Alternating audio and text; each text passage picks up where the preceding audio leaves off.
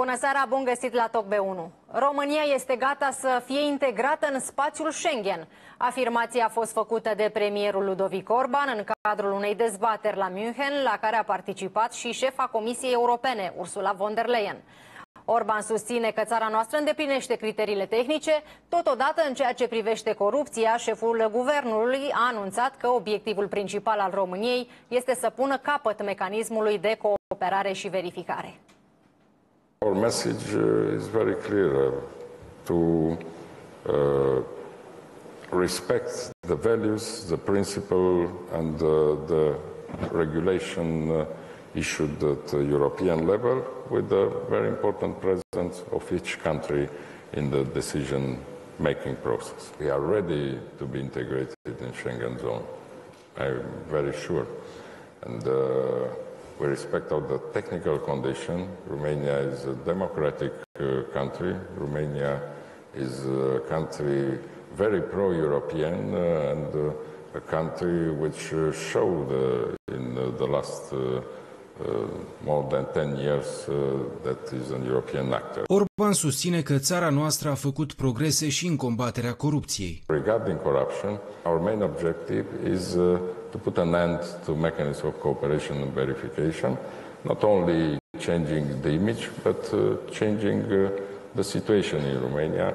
And we are strongly uh, devoted uh, to a process of uh, respecting the second uh, article of the European Treaty regarding rule of law. Premierul României a vorbit și despre valorile pe care ar trebui să le promoveze țările din cadrul Uniunii Europene. I cannot imagine an illiberal democracy because, in my opinion, where is illiberalism is not democracy. Prim-ministrul Ludovic Orban s-a adresat conferinței de securitate de la München în calitate de invitat de onoare. Totodată, premierul Ludovic Orban a participat sâmbătă seara alături de președintele Comisiei Europene, Ursula von der Leyen, la European Dinner, eveniment organizat de Conferința pentru Europa. Discutăm despre acest subiect cu domnul Marius Bostan, inițiatorul proiectului Repatriot. Bună seara, bine ați venit! Bună seara, bine v-am găsit! Ludovic Orban i-a spus premierului Olandei că România este pregătită să adere la spațiul Schengen. Întâlnirea celor doi omologi a avut loc la conferința de securitate de la München desfășurată în acest weekend. Este România pregătită să adere la spațiul Schengen, așa cum a declarat uh, Ludovic Orban? România este pregătită de mult timp să intre în spațiul Schengen. Uh, numai că deocamdată uh, opinia cu privire, opinia europeană cu privire la acest lucru nu este în tocmai cu dorința noastră și noi am parcurs pas cu pas toate etapele necesare, dar uh, um, datorită opoziției unor țări, în special Olanda, și nu întâmplător afirmația a fost făcută în acel moment, um, am întârziat acest pas acest pas uh, sperăm să se facă cât mai repede și se văd deja eforturile diplomatice. Este cel mai important eveniment uh, din uh, luna aceasta și pentru o anumită zonă poate este unul din cel mai important, este cel mai important eveniment al anului din punct de vedere strategic și o ocazie bună pentru România să-și puncteze interesele și să încerce să um, aducă problemele importante pe masa de discuție. Uh, intrarea în Schengen uh, ne va aduce beneficii, beneficii nu numai economice directe pentru companii, pentru transferul rapid, ci și pentru cetățeni, în mod direct. Uh, și toți românii știu care călătoresc că am putea să trecem mult mai repede, să nu mai să evităm cozile și ăsta e un avantaj direct pentru cetățeni, dar în același timp și un efect economic pentru companii și pentru transferul oamenilor. Ludovic Orban a pledat și pentru creșterea investițiilor olandeze în România.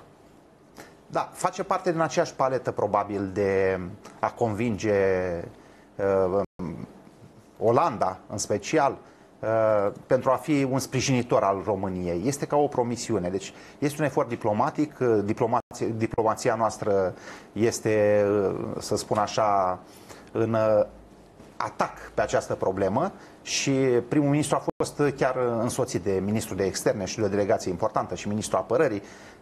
Anul trecut la această conferință, după cum știți, a fost președintele României, a reprezentat România. Acum este o ocazie foarte bună și arată forța de diplomatică a României. A fost o, să spun așa, o delegație impresionantă a României la nivel de guvern.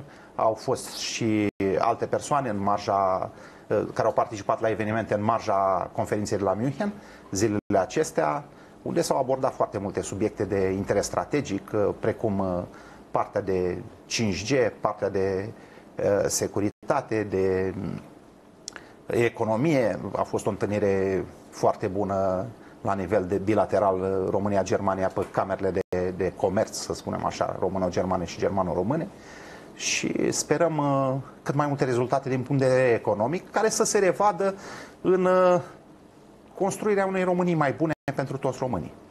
Un alt uh, punct uh, discutat și adus în, uh, în discuție de Ludovic Orban, uh, țara noastră a făcut progrese și în combaterea corupției. Și uh, domnul ministru a subliniat faptul că își dorește foarte mult uh, ca uh, mecanismul de cooperare și verificare să înceteze. Uh, este o evidență acest lucru. Noi am mai spus asta, dar eram necredibili. Guvernul trecut era necredibil când vorbea de combaterea corupției, deoarece lideri marcanți din uh, uh, partidul care atunci era la guvernare erau implicați în uh, dosare de corupție destul de importante. Și uh, atunci, uh, odată, faptul că Ludovic Orban susține asta, este un lider credibil. Uh, spre deosebire de, de cei din trecut. Și asta ajută România. Deci pasul acesta și declarațiile acestea ne ajută în plan internațional pentru a fi percepuți ca o țară mai sigură, o țară mai corectă, în care mediul de afaceri se dezvoltă în mod firesc. Uh, acest lucru, bineînțeles că trebuie menținut și vigilența trebuie să rămână tot timpul, să spun așa, trează. Dar dacă ne uităm în ultimii, să spun, 10 ani, ca să nu ne referim doar la uh, o perioadă scurtă, observăm foarte multe dosare rezolvate de corupție. Sunt și unele care au rămas nerezolvate. Nu trăim într-o țară perfectă, cum de altfel uh, sunt și multe țări în Europa în care avem uh, scandaluri răsunătoare de corupție. Puteți să vedeți și în Franța, și în Italia, chiar și în Germania. Sunt scandaluri răsunătoare de corupție, comunicării asupra dezvoltării businessului și asupra comerțului online, asupra inteligenței artificiale, uh, noilor tehnologii în general. Deci Google este o companie care este în avampostul uh, noilor, dezvoltării noilor tehnologii. Este o întâlnire remarcabilă, consider că e cea mai importantă întâlnire cumva din punct de vedere economic și um, uh, noi suntem, uh, România este o țară care ar putea să fie, uh, să spun așa, un partener perfect pentru dezvoltarea unor facilități de data centere pentru Google. Google tocmai construiește în Polonia, de exemplu, în, a decis o investiție destul de mare în anii precedenți și um, Sperăm să ajungă și în România. România este într-o poziție geografică, geostrategică remarcabilă. Dacă ne uităm pe hartă, o să observăm că suntem la o distanță bună dacă unim cu o linie Orientul apropiat și Europa. Uh, la fel, uh, partea estică, centrul și nordul Europei, iar uh, este foarte bine conectat. Prin România trec, um, să spun așa, traseele de internet cele mai importante care leagă Europa de Orient și deci ne aflăm pe o axă foarte bună uh, privind. Avem o viteză de internet uh, remarcabilă comparativ cu alte țări, suntem mult mai buni. Uh, în același timp avem competențe, avem um, specialiști foarte buni care ar putea să deservească aceste facilități. România este o țară sigură. De ce nu, să nu spunem? Este o țară mult mai sigură poate decât multe altele, cu toate certurile interne, cu toate disputele, totuși trăim într-o atmosferă destul de sigură față de alte țări. Și puteți vedea pe flow-urile internaționale în fiecare zi ceea ce se întâmplă, atacuri, spun eu, teroriste sau uh, încleștări, care în România nu sunt. Deci, din acest punct de vedere, um, România este o destinație bună pentru investiții. Um, la fel, regimul fiscal este un regim să spun, mai bun decât în alte țări, adică totuși nu avem un sistem de, adică nu avem un nivel al fiscalității în ceea ce privește, să spun, profitul, este destul de bun față de alte țări. Pe forța de muncă îl avem cam sus, dar și aici să cred că să mai poate. Important este să fie predictibil și important să fie mai simplificat în viitor și poate scăzut. Um, un alt avantaj pe care uh, sunt convins că premierul Orban l-a, l-a susținut în întâlnirea cu vicepreședintele Google, care este cel mai important senior vicepreședinte uh, pentru partea de, uh, de, de politici publice. Deci este omul care cumva partea de reglementare și partea de, um, să spun așa, de contacte cu uh, guvernele o face acest vicepreședinte extrem de important în, în ecuația conducerii la, uh, la nivel de companie și um, este extraordinar că s-a folosit această oportunitate pentru a atrage în România investiții care pot fi de miliarde. Deci România mai oferă un avantaj care puțină lume probabil l-a sesizat, noi putem fi furnizori de energie verde. Pentru că în România avem uh, energie produsă hidro, avem uh, energie eoliană, avem un mix bun și energie solară. Într-adevăr, ce cantitățile sunt mici, ce mai mult în dar sunt în dezvoltare și noi putem fi furnizori pentru că dorința, centrele acestea de date, uh, data centerele, um, consumă foarte multă energie și este foarte important în misiunea marilor companii este trecută și această viziune de a folosi energie cât mai puțin poluantă. România poate să ofere și acest, acest avantaj plus uh, o securitate avansată. Ce ar însemna pentru asta pentru România? Ar însemna investiții, locuri de muncă, înalt, uh, de înaltă calificare. Deci n-ar mai trebui ca talentele să părăsească România, ci își pot găsi aici împlinirea, să spun așa, a destinului propriu și a dezvoltării personale într-o companie importantă.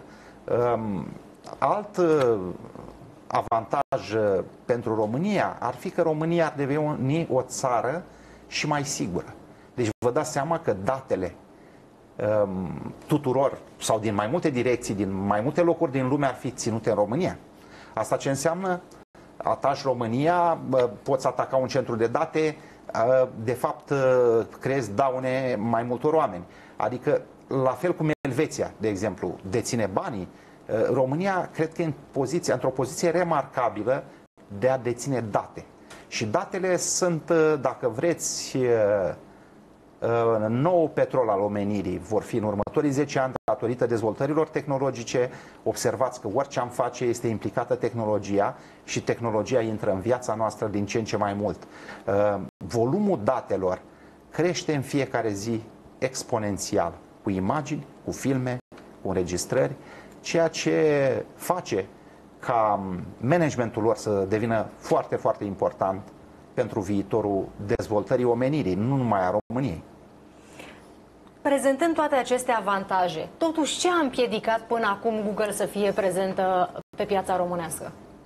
Google este, are o prezență în România, nu are o investiție atât de mare în domeniul acesta. Um, părerea Care ar fi mea, temerile? Părerea mea că a depins și de politica de strategie a companiei, dar în acest moment cred că este o fereastră de oportunitate. Uh, o companie atât de mare, care este în Europa, are nevoie de aliați pentru noile reglementări în domeniul, uh, să spun așa, datelor, în domeniul, uh, în domeniul protecției, să spun așa, a um, patentelor și protecției, dacă vreți, a conținutului, a um, drepturilor de proprietate.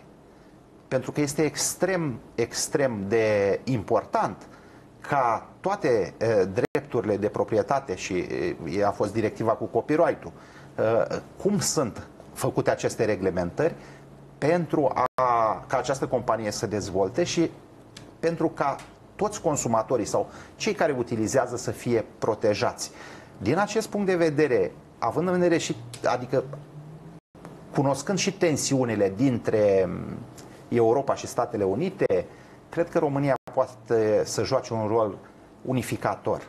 Noi români avem extrem, extrem de mulți specialiști în domeniul IT, în domeniul inteligenței artificiale și noi am putea să jucăm un rol de unificator, să spun, între, între aceste platforme. Și asta eu văd rolul României la nivel european, având în vedere că România are o relație extraordinară cu Statele Unite, uh, chiar președintele Trump uh, a lăudat România de mai multe ori și suntem uh, printre țările care avem o relație specială. Și aici am putea să aducem un aport Europei și dezvoltării Europei în general. Deci este o fereastră de oportunitate pe care premierul României a, a văzut-o foarte bine, conexiunea cu aceste companii foarte puternice, foarte mari, care cifra lor de afaceri este mult mai mare decât produsul intern brut al României. Trebuie să spunem asta. Dacă măsurăm uh, o companie de aceasta cu PIB-ul României, ele sunt uh, mult mai mari decât uh, toată România ca și nivel de, să spun, al veniturilor totale. Um, datorită neîncrederii, datorită neîncrederii, poate asta, nu a existat o ofertă, nu a existat o chemare. Tu dacă îți dorești un investitor cu adevărat în România, trebuie să oferi un cadru predictibil, un cadru solid și trebuie să faci o ofertă. Lucrurile importante și investițiile importante se decid în astfel de întâlniri. Și este remarcabil că a avut loc această, această interacțiune și această primă discuție. S-a alăturat discuției noastre și domnul Bobby Păunescu, regizor și președinte Armis. Bună seara, bine ați venit! Bună seara! Uh, discutam... Și felicitări pentru deplasarea Mulțumesc! Uh, da, într-adevăr, o reuniune, sigur, s-a terminat un pic mai nefericit dintr-un alt punct de vedere, nu are legătură cu întâlnirile de acolo. Uh, mi-e important că începem să participăm.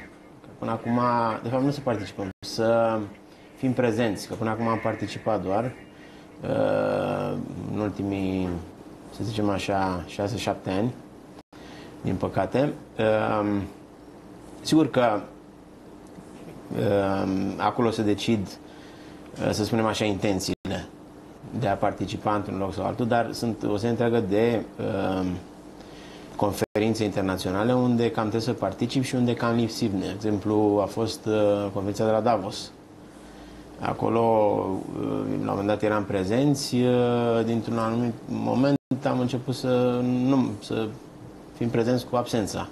Adică, uh, acolo, practic, înțelegi trendul, dacă nu înțelegi trendul, în ce direcție o merge omenirea, sau mă rog, printre rânduri, că nu o să vine cineva să spună clar, băi, o să facem asta, asta și asta, în momentul ăla, uh, fiind prezent și fiind prezent cu oameni care să, eu știu, să vorbească limba, o limbă străină, um, E foarte important asta. Uh, și chiar dacă nu, nu ești obligat, adică nu obligat, nimeni n-a fost obligat să învețe de la început, dar poți să înveți pe parcurs și ajută bine și la uh, bătrânețe, pentru că o limbă străină prelungește viața. Da, acum doamna Dăncilă mi-aduc aminte că a zis că dacă va fi aleasă, va învăța limba. Acum mă întreb, n-a fost aleasă. Ea avea mai multe, de, ea avea mai multe de învățat. Ea avea de învățat și să... geografie, că avea probleme cu Pakistanul, cu Iran, nu mai știu. Dar, mă rog, să, acum să trecem la prezent, că e important, uh, cum să spun eu, Um, sigur că să fim prezenți. Ideea este că de-a lungul timpului, în ultimii 30 de ani, au fost, uh, să zicem așa, interese mari uh, și împreună cu investitorii români cu, uh, la care participau și vorbesc în cunoștință de cauză. Teza mea de, când am terminat prima facultate, teza mea de final era pe o companie aeriană numită Dacher, care era făcută între un întreprinzător român și guvernul canadian și cel mai mare producător de și cel mai mare, cea mai mare companie din Canada, Bombardier. Care e și în domeniul strategic o companie da. foarte importantă. E vorba de acel... Uh, și mulți români lucrează acolo, extraordinar da. de mult. Și acel, uh, să zicem, antreprenor român, uh, pe semnătura lui, a luat fără niciun fel de bancă din România sau orice fel de pe semnătura lui. Asta se găsește în New York Times, în Washington Post, în Wall Street Journal, Financial Times și așa mai departe. 400 de milioane de dolari în 94, 95, 94. 400 de milioane. La inaugurarea acelei companii, Dacher, a fost prezent primul ministru al Canadei. România, în momentul ăla, era ocolită de mari lideri politici ai lumii, fuseseră mineriadele, era neclară uh, ce, situația din România, politica. Deci contează foarte mult mediul politic și deci, de, de, de... E foarte important de menționat. Deci e greu astăzi să atragi de pe piețele internaționale ca stat bani mulți. Da? Sau ne împrumutăm, ne împrumutăm.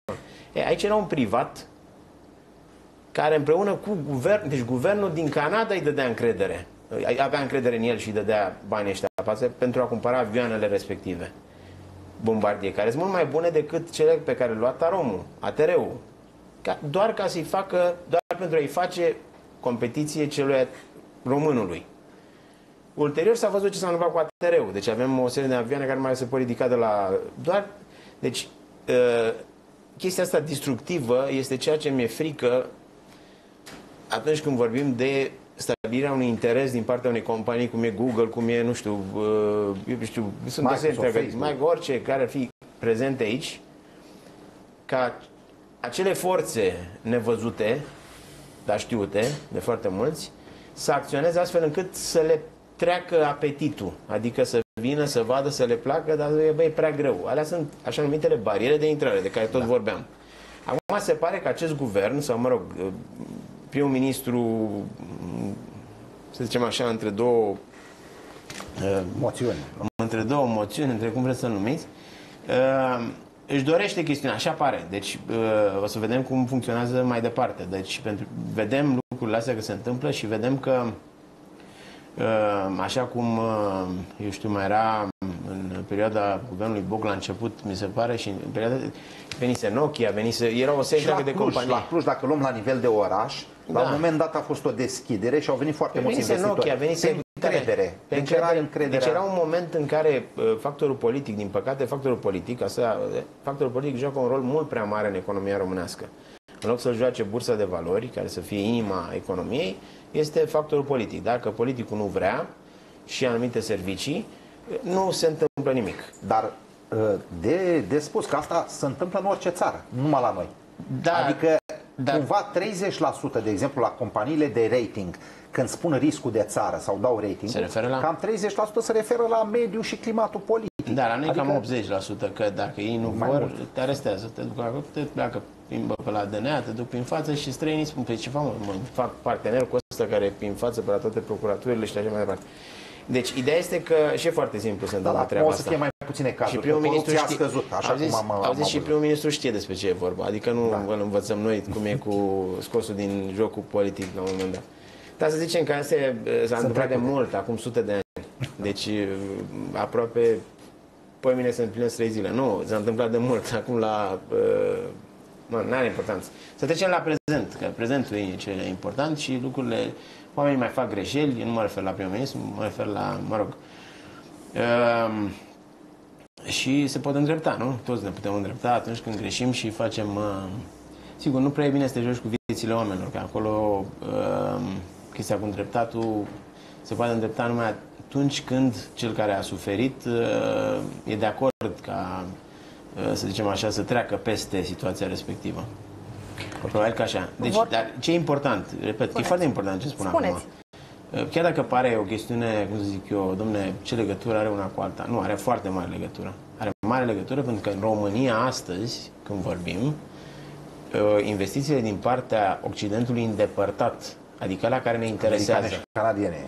Și englezești. Și englezești, da. Alea care ne interesează. De ce? Că nu sunt la granița cu România. Ne sau japoneze. La sau, sau japoneze în partea alte. Singapore, da. Japonia, Corea de Sud, care da. e o forță incredibilă.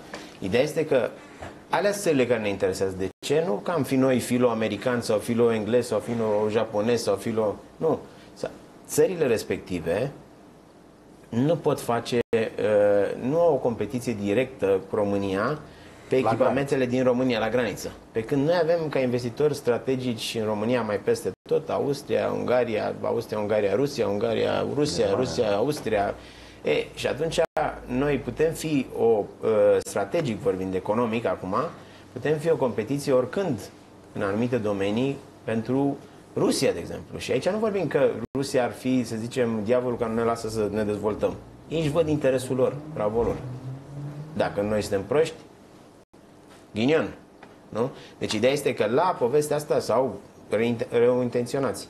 Ideea este că eu nu cred că e, suntem în situația asta în sensul în care, până la urmă, avem o deschidere, să zicem, avem un, o clasă politică care cât de cât cei care uh, sunt acum la uh, uh, nu pot să zic la putere că sunt suspendați sau ce sunt, sunt mă rog, cum sunt în felul ăsta, da, mă rog, cei de dreapta sunt oarecum mai deschiși, da, sunt mai deschiși și uh, sunt mai în cunoștință de cauză. Dar ideea este că noi putem vorbi aici uh, de suprafață, adică să spunem, domne, se va întâmpla asta sau asta și asta, nu se vor întâmpla, sau putem să intrăm în adâncime și cam emisiunea asta, asta a făcut în permanență, am încercat să intrăm în profunzimea subiectelor și să vedem unde sunt problemele. Da. Problemele sunt acolo în care ai o serie întreagă, o parte foarte importantă din economia României și în, în general cea strategică care este în mâna uh, unor țări care nu, nu vor neapărat ca noi să ne dezvoltăm. Cu siguranță nu vor să ne dezvoltăm. Deci ideea este că până când nu, uh, și vorbeam la o altă emisiune, până când nu reformezi în adâncime un anumit sector, un anumit, anumit domeniu și vedeți cu câte, se, cu câte probleme se izbesc, intră în medicină și spun, domne, ai voie să te duci la orice spital, fie el privat, fie el de stat, și poți să primești, uh, uh, poți să fii, uh, să primești tratamentul pe baza asigurării de sănătate. Nu, pe ce fac ăștia, domnule? Nu, nu, nu e voie, nu se poate. De ce să nu se poate? Da, e libertatea omului păi până nu, la urmă dacă și, omul are spitalul și competiția aproape, face bine. De, între... Dacă ai spitalul aproape, de ce să te duci la un dracu? Numai de, e... de ce să nu dai libertatea fiecărui pacient să meargă acolo unde își alege el serviciul. Absolut. Adică și... o chestie de bun simț. Da, sunt o felul de lucruri de genul ăsta și după asta mai vorbim de o treabă foarte importantă. Deci noi discutăm de o problemă, uh, vorbeam de sănătate. Noi, problema numărul unu a lumii astăzi și a noastră este uh, renumitul coronavirus, care, sigur, discutam de mult timp că este, uh, cred că o lună, vorbeam aici de o lună, vorbeam că este în curând Organizația Mondială a Sănătății Ehm, va ridica nivelul de alertă, lucru pe care îl face, l-a făcut și ehm, ehm, acum, dacă tu îi ții pe miniștri, pe, cei, pe decidenți ocupați cu alte lucruri, orice om are un anumit uh, timp pe zi, energia o energie în care poate să facă lucruri. Dacă tu în timpul ăla ții blocat cu alte lucruri, care asta este o strategie a serviciului de spionaj rusești, cunoscute în toate cărțile, de a-l ține pe om ocupat. Cu tot felul de lucruri. Vezi ce îl interesează sau ce îl atacă, ce îl așa și îl ții ocupat. Îl ții ocupat cu telefoane, cu alea, îl cauți cu alea, da, cu alea. Acum, e, și, acum, ținând... Poate fi o speculație asta, că Rusia a fost Stați interesată puțin, pentru uh, nu, coronavirus. Nu, nu, nu, spuneam că e o tactică rusească care poate fi împrumutată. Sau poate fi furată, poate, poate fi, fi luată. O Păi dacă nu vedeți vreo ceva pe coronavirus prin România, un mod de a proteja țara asta când ea stau, blochează spitale, construiesc spitale în 10 zile, blochează nave, nu intră nimeni nicăieri, nu se mișcă. La noi, dacă întrebi pe cineva pe stradă, a, nu e la noi, domne, în China. Da. Păi, slavă Domnului că nu este. Păi nu știm. Da. De unde știm? Stați puțin că nu Până știm. acum nu s-a confirmat niciun păi caz. nu s-a confirmat. Cine să-l confirme? Nu s-a confirmat. Nu s-a confirmat. Nu s-a confirmat. Era un nu. caz, dar nu s-a confirmat. Da, e, în momentul când se confirmă un caz sau două, atunci începe nenorocirea, pentru că nu vom fi în stare să blocăm uh, la ora asta și de asta... Nu, eu cred că autoritățile statului au avut suficient timp să se pregătească pentru asta. Da, dar ți ocupați cu alte chestii și asta e problema. Atunci când ți ocupați, de exemplu, noi acum și uh, deciziile importante nu pot fi luate că nu avem guvern. Să vedem, vor, vor, va fi un guvern, va fi luat... Nu Asta e momentul și... în care și opoziția, și uh, cei de la putere, și președintele, și cei care sunt, eu știu, uh, pro sau contra, Asta nu e un moment în care să-ți, să joci în logica electorală. Asta e momentul da. în care trebuie să joci în logica României și în protejarea cetățenilor României pentru împotriva acestui virus deosebit okay, de periculos. Acum să și suprapun, trebuie văzut că să și suprapun. Sunt și tensiuni internaționale și asta s-a văzut la conferința de securitate de la München. S-au pus pe tapet cam toate conflictele, s-a făcut trimitere la ele, deci trăim și vremurile astea nesigure, mai vine și o nenorocire pe deasupra, mai sunt și semne de criză economică pe aici pe acolo, sunt și deficite în creștere. Alea ciclice, deci n-avem Cifrele de, da, s-au pus pe, iar pe, pe masă, uh, s-a arătat creșterea cheltuielilor cu înarmarea în ultimul an, uh, deci au crescut. Sunt cele mai mari din istoria... Din ultimii 10 ani sunt cele mai, mai mari. mari. mai mari. Și uh, considerate cele mai mari cifre. Deci, Apropo da. de coronavirus, uh, directoarea Fondului Monetar Internațional, Cristalina Georgieva, a atras atenția că epidemia cu noul uh, coronavirus ar putea avea impact negativ asupra economiei mondiale în 2020, este, în funcție evident. de capacitatea Chinei de a opri propagarea uh, virusului. Acum... Este evident. Este evident că va avea impact, acum depinde cât de mare.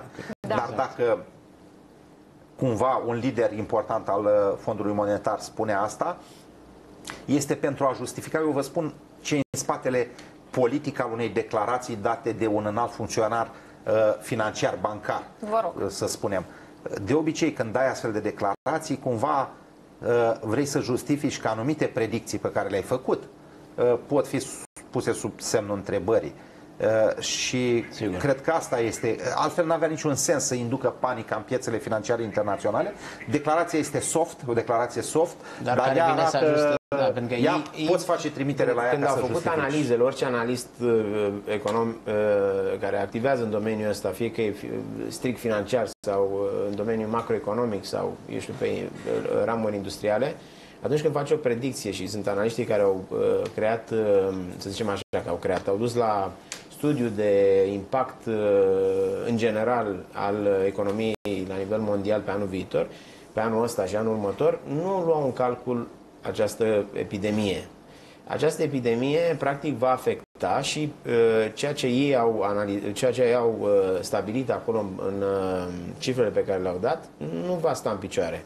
Și atunci oare cum să nu zică cineva, domne, Fondul Monetar a spus că se va întâmpla asta și nu s-a întâmplat. Deci sunteți niște mincinoși sau sunteți niște... Exact, nebuni. exact. Nu, deci anunță cumva soft tocmai pentru a nu băga o panică de aia totală, dar cu toții ne dăm seama că atunci când a doua mare economie a lumii sunt orașe pustii acolo, deci Da.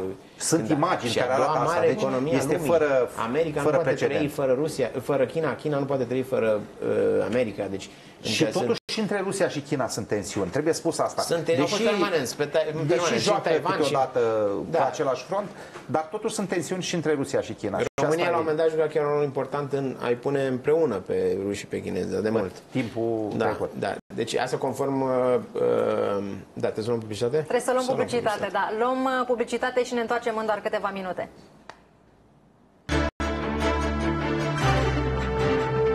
finanța un proiect de securitate la care participă și România. Asigurarea a venit din partea secretarului de stat american Mike Pompeo, care a declarat că Statele Unite își mențin angajamentele în NATO. Este vorba despre celebra inițiativă a celor trei mări. Vedem materialul și ne întoarcem să discutăm. Anunțul secretarului de stat american a venit în cursul conferinței de securitate de la München, organizată de Institutul Internațional de Studii Strategice, la care participă în acest weekend 35 de șefi de stat și prim-ministri. Statele Unite vor oferi un miliard de dolari inițiativei celor trei mări, a declarat Mike Pompeo. Cunoscută și sub denumirea de Inițiativa Mărilor Baltică, Adriatică și Neagră, aceasta este un forum politic pentru dialog regional, la care participă țări precum Austria, Bulgaria, Croația, Cehia, Polonia, România și Ungaria. Pe de altă parte, șeful diplomației americane a dat asigurări că Statele Unite își mențin angajamentele asumate în cadrul Alianței Nord-Atlantice. El a calificat ca nerealiste declarațiile unor aliați care puneau la îndoială angajamentul Washingtonului în cadrul NATO și acuzau Statele Unite de unilateralism în acțiunile internaționale. I'm happy to report that the death of the Transatlantic Alliance is grossly over exaggerated. The West is winning. We are collectively winning. Totodată, secretarul de stat american a criticat națiuni autoritariste precum Rusia și China. El a denunțat politicile agresive ale Partidului Comunist Chinez și a catalogat compania de telecomunicații Huawei drept calul troian al serviciilor secrete din China. De asemenea, șeful diplomației americane a criticat proiectul gazoductului Nord Stream 2 din Marea Baltică, avertizând că Europa va deveni și mai dependentă de Rusia la nivel energetic. Ne-am întors în studio. Iată, secretarul de stat Mike Pompeo a dat uh, asigurări că Statele Unite vor investi un miliard de euro în inițiativa Ceva aș celor vrea trei doar să, mări. prenunț, să, să anunț înainte de, de a intra în subiect. Uh, Sigur că acum America vine cu un alt suflu. Și America a fost blocată o perioadă la nivel intern cu acel uh, cu acele chestii să-l suspende pe președinte, să-l, nu știu, impeachment-ul ăla, care sigur n-a trecut. Uh, avem un moment în care America trăiește, uh, din punct de vedere economic, uh, o perioadă foarte bună, care cu siguranță va fi afectată de, în viitor de criza din China, dar, uh, pe de altă parte, uh, nu atât de tare pe cât o putea avea dacă erau democrații la putere. Și o să vă explic de ce foarte scurt, înainte să ajungem la treaba asta. Uh, Democrații uh, Uh, susțineau foarte mult ideea de globalizare în general. Iar uh, uh, prin uh, președintele Obama și prin cei care susțineau foarte tare această idee, inclusiv domnul George Soros, care aș fi făcut, mi se pare, un think tank acum de tocmai pentru a menține ideea asta cu socialismul, practic, dacă vă aduceți aminte, a fost criza și Obama se ducea și dădea bani anumitor companii să supraviețuiască și anumitor companii nu. E, asta nu e America. America este țara în care dacă Este merge, libertate economică. Da, da, unde dacă trăiești, trăiești, dacă nu mori, nu poți să-l ajuți pe ăla să nu-l ajuți pe celălalt, că atunci intri într-o țară cum este. Asta e socialismul. Asta e ce a făcut, ce a făcut uh, Trump și a fost acuzat de foarte multă lume. Acum când spun președintele Americii de astăzi, Donald Trump, sigur, nu mă refer numai la Donald Trump, el are o echipă întreagă în spate. El a ieșit dintr-o serie întreagă de uh, agreement-uri, de-astea, înțelegeri la nivel mondial. Și unul dintre ele era cel uh, legat de emisiile de... Uh, dacă să nu mai cheltuiască bani aiurea. Da. Nu, emisiile alea cu... Da, da. Uh, și de democrația au venit acum cu încălzirea globală, cu nu știu ce se întâmplă, că mor animale, așa. Fals. El ce a făcut? Pentru a reintroduce industria în America, care se întâmpla în China, deci ei produceau totul în China, a trebuit să iasă din aceste înțelegeri pentru că altfel polua sau polua, trecea de anumite de anumiți indici uh, de poluare, industria sigur, emană se întrebe, dar ce se întâmplă? Acum impactul e mai mic decât dacă erau uh, dacă nu erau aceste fabrici în Chicago, în uh, refăcut, repuse pe picioare și în alte părți ale Americii. Pentru că depindeau întru totul de China.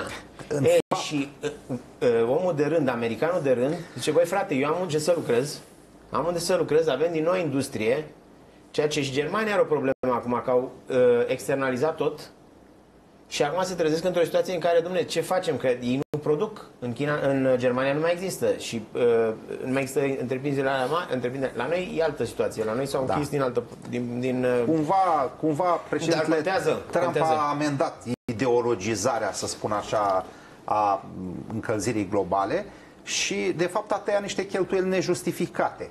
Uh, pentru și nu că... numai, adică, dar are un, are un final, are o finalizare, adică o finalitate, adică în sensul în care a făcut chestiunea asta nu pentru a ieși din tratatul de la Paris sau de nu știu unde pe uh, emisii, pe nu știu ce și așa mai departe. Nu. A ieșit din aceste tratate tocmai pentru a reuși să-și readucă industria, deci să, de-aia este lupta asta foarte mare. De-aia am încercat, am văzut-o la un moment dat într-o imagine uh-huh. acolo, că era și doamna Pelosi, care a spus că își dă demisia dacă nu, nu trece... Uh, deci, nu uite, deci asta este un exemplu de... Deci, repet, nu sunt nici democrati, nici republicani, deși pentru România, în permanență, când au fost republicani la putere, a fost mai bine. Da, și pentru România e clar că e mai bine să fie republicani. E, doamna Pelosi, care este uh, democrată și care este șefa Camerei uh, uh, reprezentanților și cea care a inițiat, să spunem așa, această impeachment, care nu a, practic, a pierdut, uh, a spus că dacă va pierde, își va da demisia. E, nu și-a dat demisia. Deci, cumva, să zic, punem așa, din păcate, seamănă puțin cu uh, comportamentul anumitor oameni de stânga și de la noi. Care mint. Care mint. Deci da. aici nu avem ce să facem, trebuie să spunem așa cum se... Deci este uh, publică, uh, o puteți găsi pe toate. Deci, spune, domnule, dacă impeachmentul nu trece, îmi dau demisia. E, nu și-a dat demisia. Mă rog, acum, ca să revenim la povestea asta, sigur, probabil că era un calcul la pensie, probabil cât, cât termina când ieșea la pensie, cu ce calcul, mă rog. Eu... Acum este la... Acum deci, e vorba de un miliard care, care vine. dă concretețe Dar ce vreau să vă spun, ce, trebuie să, ce e important pentru noi, este pentru uh, încet, încet, noi nu avem, deci clar, globalizarea nu funcționează. De ce? Tușește, tușește China sau are o problemă China sau are o problemă nu știu ce țară din altă parte care produce mult și tu ești dependent de țara respectivă, tu răcești aici, la București. Tu trebuie să ai industria ta, tu trebuie să ai cercetă, cercetătorii tăi, tu trebuie să ai de, uh, să-ți dezvolți Eh, cel puțin ramurile industriale importante, fără de care nu poți să supraviețuiești, nu sunt de ideea, nu neapărat al lui Nicolae Ceaușescu, care spunea că România, și ajunsese aproape, autarhic, România poate să, fac, poate să trăiască singură, putea să trăiască singură, într-adevăr. Și a lui, a lui. Da, și dar putea să trăiască prost, trebuie spus. Că... Prost, neprost, putea să trăiască. În cazul ăsta, toate țările, în, caz, în cazul unei, uh, dacă această criză uh, uh, de, cu virusul ăsta care va genera, o, sperăm să nu, poate genera ceva major, țările importante își vor retrage fabricile de aici, încă nu vor mai putea plăti și nu vor mai, dacă pică economia, și atunci cu ce rămâi? Tocmai cu, asta e răspunsul. Cu imaginea de la Vulcan. Duceți-vă în orașul Vulcan Dar să tocmai vedeți asta cum e se răspunsul. trăiește. Inițiativa din- celor trei mări este cumva o alianță, trebuie uh, explicat uh, uh, pentru toți telespectatorii, e o inițiativă remarcabilă, lansată cu ceva timp în urmă și pusă, să spun așa, dându-i substanță, uh, substanță mai mare în timpul administrației Trump. Este o alianță între 12 state. Pornită de Bush, Da. oprită un pic E, de e Obama o, și... este o alianță cumva între 12 state, este cumva axa nord-sud, dacă ne uităm de la Marea Baltică spre Marea Neagră și m, ea face o alianță regională. Își dorește să elimine disparitățile cumva, să echilibreze aceste țări și o alianță regională care să fie mai ușor de administrat, adică să se pună interesele uh, cap la cap în aceste țări și în același timp să se dea o substanță mai mare parteneriatului transatlantic. Uh, Această alianță are atât substanță strategică cât și substanță economică și de infrastructură. Uh, Pentru că imaginați-vă un culoar de transport nord-sud, ce înseamnă, imaginați-vă culoarele de comunicații nord-sud, din nordul Europei până în sudul Europei, uh, uh, culoarele de comunicații și plus o barieră strategică la o provocare din est, adică linia strategică de apărare ar putea să fie pe, pe această barieră nord-sud. Deci cumva um, datorită slăbiciunilor, să spun, existente în interiorul uh, bătrânei Europe, adică la nivel de, putem Franța, spune, Germania. Franța, Germania, acea, aceste noi țări intrate în Europa ar putea să um, fie Prea- rezolvarea problemei, adică să fie culoarul de forță și de relansare a Europei și de uniune cu Statele Unite, adică de întărirea parteneriatului transatlantic. Um, Dar și de o, o Cumva- consolidare a independenței energetice față de Rusia? Exact, Da, și acum extraordinar. mai e o chestiune, aș vrea să uh, punctez înainte că la ora 8 uh, probabil că o parte din audiență se va muta la meciul Steaua Dinamo. Uh, Vreau să spun un lucru care mi se pare extrem de important. Deci, uh, odată cu problemele globale, odată cu victoria lui Trump, care practic va genera 99% câștigarea celui de-al doilea mandat la sfârșitul acestui an de către Trump. Deci, o- repet, odată cu problemele globale, Rusia nu mai poate juca niciun fel de rol decât uh, să spunem uh, la așa numitul război hibrid, dar nici acolo nu mai îți mai arunci încă un virus, ce să faci? Adică n-ai ce să faci mare lucru pe chestia asta, poți să începi pe online, dar nu prea mai interesează pe lume la chestia asta sau că am prins ce se întâmplă și cum se întâmplă. Ideea este că e foarte important pentru acei oameni, că noi suntem o țară cu foarte mulți uh, angajați uh, în uh, serviciile uh, de inteligență, de serviciile secrete sau cum se numesc ele, da? Așa au rămas, nu ai ce să faci. Deci este o, nu, nu asta critic în, uh, în ceea ce vreau să spun. Vreau să spun că acei oameni care uh, sunt obligați să înțeleagă că Dumnezeu s-a cam terminat era aia în care uh, uh, o parte dintre ei erau cu ruși și o parte dintre ei erau cu... Nu, acum, uh, sigur, cea mai mare parte sunt cu românii și au fost cu românii, sunt generațiile tinere care au preluat uh, uh, foarte multe poziții, dar acum este foarte important să... Acum pot avea loc niște schimbări, pentru că datorită acestor crize, poziția Statelor Unite, Marii Britanii și altor țări din zona respect, din, să zicem, Occidentul îndepărtat, va fi mult mai puternică la adresa încălcării uh, drepturilor fundamentale ale omului în România, indiferent că e vorba de drept uh, economic, uh, de a lucra, de a... uh, mânca. Și atunci când uh, uh, eu încerc să fiu acum uh, cât mai mild posibil ca să nu duc. Deci trebuie date la o parte practicile vechi, adică filaj la români, uh, uh, pentru că trebuie să ai grijă că și ăla e făcut prost. Nu poți să filezi un, un ziarist. Că ajungem din nou la terasa Anda, dacă vă mai aduceți Bun, aminte din anii este 90. evident. Este Nu, evident terasa că Anda. Deci orice alianță îți strică- se bazează îți pe strică- principii. Da, îți Asta e strică, evident. îți strică sursa. Pentru că sursa se poate speria. Sau dacă, în cazul meu, dacă, ca regizor, scenarist și asta, dacă fac un film și trebuie să mă întâlnesc cu oamenii, ea nu se mai întâlnesc cu mine dacă văd că e la... Mă rog, ideea pe scurt, dacă e cazul, nu e cazul, da, la mine, dar să spunem așa, în general, e foarte important că nu mai e ca înainte. Că te lovește de sus și nu știi de unde te mai lovit, de unde te-a lovit. Da, și nu o să este- sunt eu, nu e dânsul, este nu un mai e lucru- la... Acum, deci americanii trebuie să... Deci tocmai de-aia finanțează toată această zonă, sunt la putere. Americanii astăzi sunt la putere. Având puterea economică, având uh, uh, președintele uh, consolidat după acest impeachment și așa mai departe, deci că e făcută treaba, deci că a fost făcută de el uh, cu acest impeachment, astfel încât să-l consolideze, să-l pună într-o poziție de asta. Ideea este că toată această chestiune, practic, uh, nu se va mai uita stânga-dreapta atunci când uh, structurile, că nu poți să-i păcălești la nesfârșit. De-aia avem și un nou ambasador, de-aia avem și... Sunt o serie întreagă de lucruri care s-au întâmplat. Nu Este sunt evident întâmplătoare. că nu poți să-ți păcălești partenerul.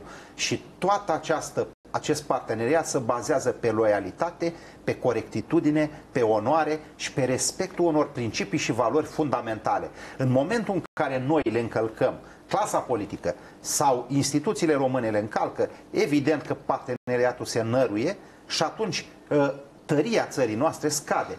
Deci noi în această perspectivă a alocării acestui prim, prim buget remarcabil pe De un care dă miliard. valoare a, acestei inițiative. România vă dați seama că poate ve- beneficia 100-200 de milioane, depinde de, să spun, de proiectele cu care venim la masă.